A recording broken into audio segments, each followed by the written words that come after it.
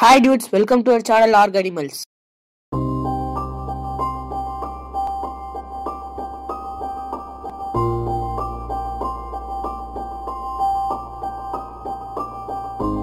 இன்னைக்கு நம்ம பியர் ஃபேமிலியோட தேர்ட் அனிமலை பார்க்க போறோம். இந்த தேர்ட் அனிமல் தான் ரெட் பாண்டா டேய் ஏதோ ரக்கூன் மாதிரி இருக்கு. இதை போய் பாண்டான்னு சொல்றீங்களே. ஆமா இது அப்பீரன்ஸ் வந்து ரக்கூன் மாதிரி தான் இருக்கு. பட் இந்த அனிமல் வந்து பியர் ஃபேமிலி சேர்ந்தது. இந்த அனிமலோட டிஎன்ஏயும் பியரோட டிஎன்ஏவும் சேமா இருக்கு. அதனால இது பியர் ஃபேமிலி சேர்ந்ததுன்னு சொல்றாங்க.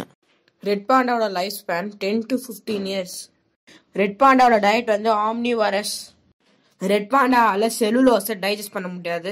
அதனால வந்து seventy five percent of the diet வந்து பேம்பு தான் இருக்கணும். பேம்பு இல்லைனா ரெட் பாண்டா சர்வே பண்ணுறது ரொம்ப கஷ்டம்.